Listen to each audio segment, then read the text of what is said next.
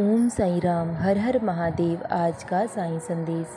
बाबा कहते हैं, मेरे बच्चे कब तक अपने अतीत के बारे में सोचते रहोगे? अतीत की यादों से सिवाय आंसुओं के तुम्हें कुछ नहीं मिलने वाला।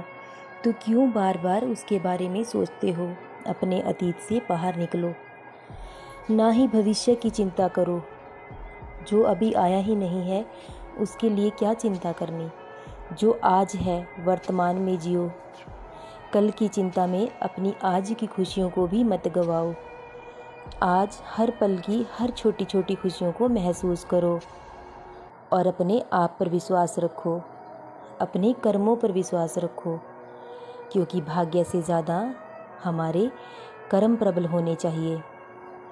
अपने कर्मों को ऐसा बनाओ कि वह ईश्वर आपको वह भी देने के लिए मजबूर हो जाएँ जो आपके भाग्य में नहीं लिखा है, जो आपसे दूर हो गया है। उसके लिए दुख ना करें, क्योंकि उससे भी अच्छा ईश्वर आपको देने वाले हैं। भाग्य से ज़्यादा कर्मों को प्रबल बनाओ और अच्छे कर्म करो। बहुत जल्द सब अच्छा होगा। सदा खुश रहो, सदा जपते रहो। ओम साई राम, हर हर महादेव।